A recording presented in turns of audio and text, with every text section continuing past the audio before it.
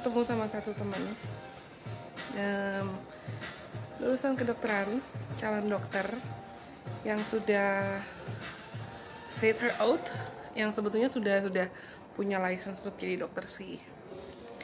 Dan kita discuss banyak hal, terutama tentang mental health, mental health awareness, and how dangerous atau how epic it is in our country di negara kita Indonesia. Apa yang akan aku bagikan? Dan mungkin ke depannya bisa lebih sering aku bagikan mungkin akan lebih banyak mencakup tentang mental health sih atau mental health issues.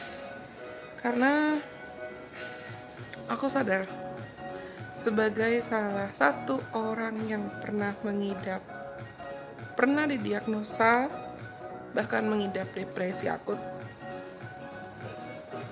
Bahkan aku juga kena diagnosa skizofrenia.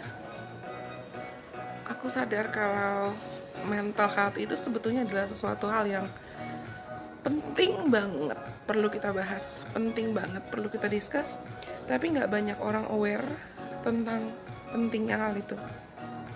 Nggak banyak orang aware tentang kita tuh perlu banget discuss sounding awareness tentang ini tuh perlu di, uh, di share perlu disebar dan kita perlu banget untuk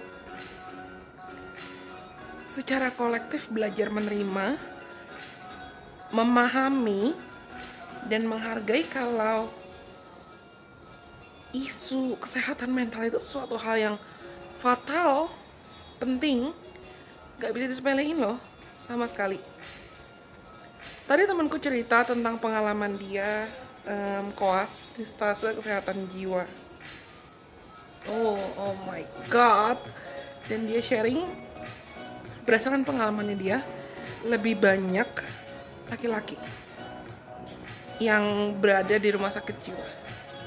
Mungkin data atau jumlah persentasenya itu tiap daerah itu mungkin beda-beda ya dan dia juga menjelaskan ke aku tentang level ada yang akut dan ada yang non akut tapi nggak semua orang aware tetap nggak semua orang aware dan nggak semua orang sadar kalau mental health itu sepenting itu. I don't think it's only happening in Indonesia though. Ini bukan cuma suatu hal yang terjadi di Indonesia. Di negara lain di banyak negara juga penting sebetulnya awareness tentang ini. Dan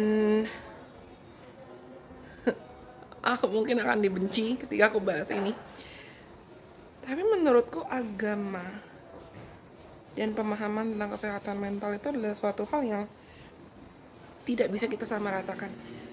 Karena menurutku hubungan kita dengan Tuhan kita terlepas dari apa pun agama dan kepercayaan kita it's supposed to be something private it's supposed to be something personal it's supposed to be just representing our relationship with our creator. Gak bisa disama-samain atau di matchingin kayak oh kalau lu punya kesehatan mental atau isu kesehatan mental itu berarti otomatis lu gila. Atau kalau lu check up ke psikolog atau lu check up ke psikolog berarti lu nggak punya agama. Who started that? Siapa sih yang mulai bikin mindset kayak gitu? Atau siapa yang mulai bikin paham kayak gitu? Dan siapa yang mulai bikin asumsi seakan itu adalah fakta? Hello? Excuse me? Perlu jelas-jelas kesehatan mental itu triggersnya banyak loh dan kita perlu perhatikan bagaimana pola asuh mungkin pola asuh uh, caretakers kita atau orang yang merawat kita atau pola asuh orang tua kita atau pola asuh dan lingkungan seperti sekolah, keluarga, teman, komunitas, lingkungan terdekat kita. Pernah ada yang dengar gak? Quote, birds with the same feather flock together. Hmm. Burung-burung dengan jenis yang sama atau jenis bulu yang sama, mereka pasti akan terbang bareng-bareng.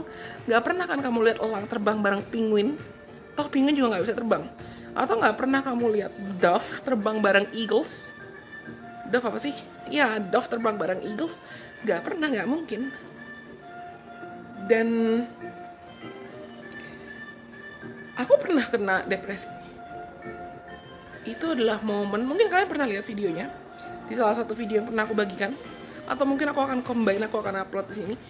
Dan masa-masa terburuk atau masa-masa terkelam aku jujur aku berasa aku berjuang melawan depresi sendirian. For real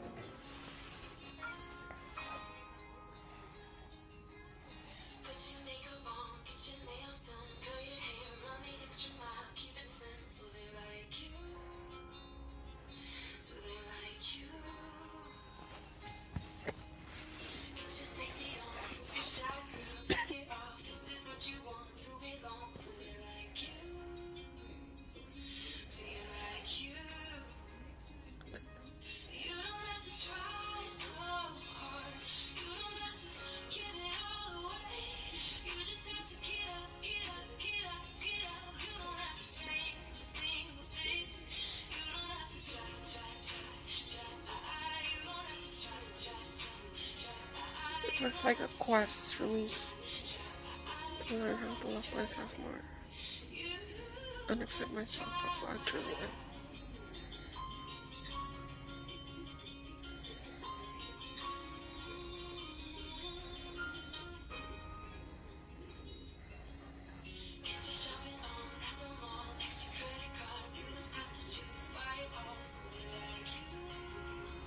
Am Get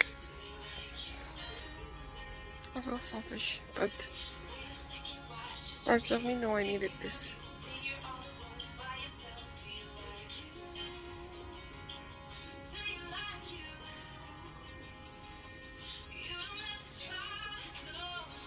All of the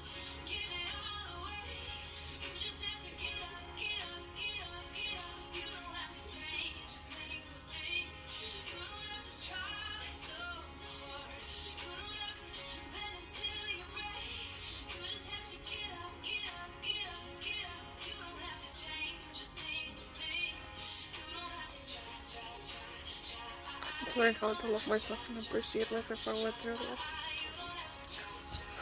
I miss the more easy go step.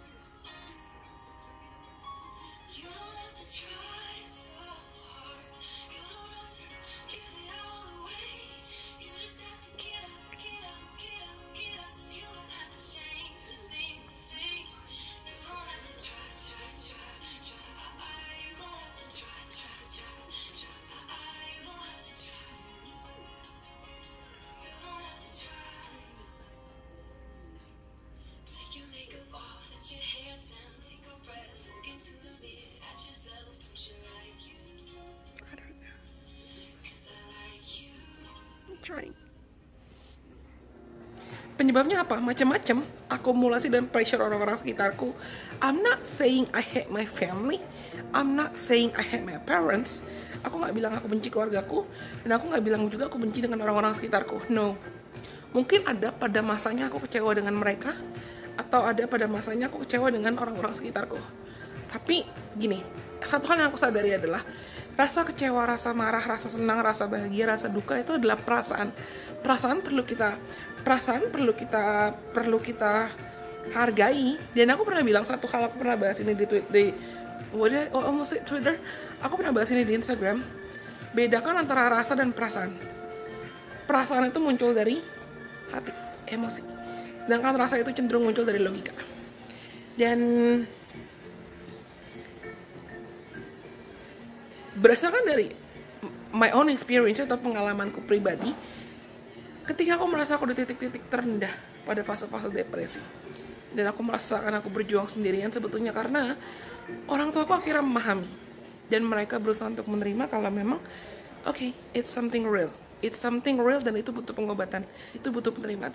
Oh maybe this is something that I need to tell you guys. I need to encourage you guys. Aku perlu kasih sounding kali ya. Aku perlu menggaungkan pesan kalau kalau kamu ngerasa ada orang-orang sekitarmu yang mungkin sudah menunjukkan gejala gejala punya mental health issues atau dirimu atau orang-orang sekitarmu healing itu adalah suatu hal yang perlu muncul dari dalam hati. Kita nggak bisa paksain. Mungkin kita bisa encourage mereka buat sembuh buat pulih. Itu adalah alasan kenapa aku mau share dan aku mau memberanikan diri untuk terbuka saat ini. Karena aku nggak mau banyak lebih banyak lagi korban yang dia bahkan nggak sadar dia dia butuh healing gitu loh. Dan mental health issues lagi-lagi bukan suatu hal yang bisa kita sepelekan. Oke pada saat aku berada di titik-titik terendah itu atau aku berada di fuck up momen aku banget kita nggak bisa mikir.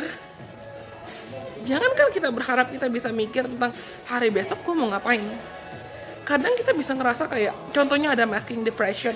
Orang-orang yang berusaha untuk menutupi dirinya atau menutupi eh, fase depresinya dengan mungkin tertawa atau berusaha untuk terlihat terlihat baik-baik saja atau berusaha untuk they, they try to cope. Tiap orang juga coping mekanismenya beda-beda.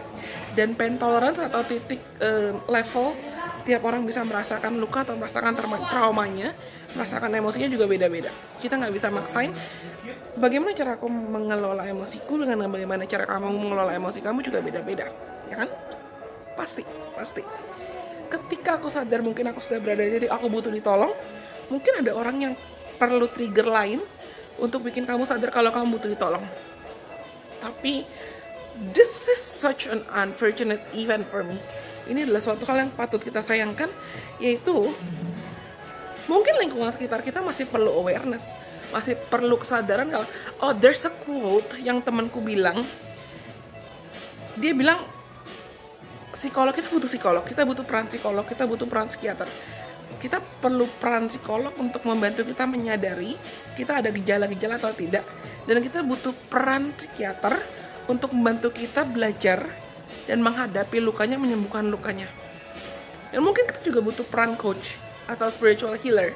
Atau kita butuh peran orang yang pernah mengalami untuk membantu kita sadar kalau harapan itu masih ada juga dan of course harapan itu masih ada. Pasti harapan itu masih ada. You guys looking you guys are currently looking at one aku pernah tiba di titik di mana aku sepengen suicidal itu. Trigger warning. Aku ngerasa hidupku udah gak berharga. Tapi Tuhan selalu punya rencana lebih baik. Dan pemulihan kesembuhan itu pasti masih ada. Ketika kita memang mulai willing dan kita bersedia untuk aku mau sembuh. Nggak bisa gue hidup gitu-gitu aja. Percaya sama aku please please please kita sama-sama berjuang bareng-bareng dan aku akan berusaha di sini mengedukasi dan spread lebih banyak awareness kalau mental health itu penting Oke, I guess aku perlu pulang sekarang karena aku udah dijemput. Setelah ketemu temen, sampai kita bertemu lagi kesempatan. Bye bye, God bless. I love you.